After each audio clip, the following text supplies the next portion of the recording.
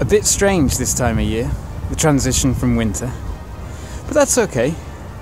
Follow me with the comedy masterpiece, The Diary of a Nobody, day by day as we go through the year.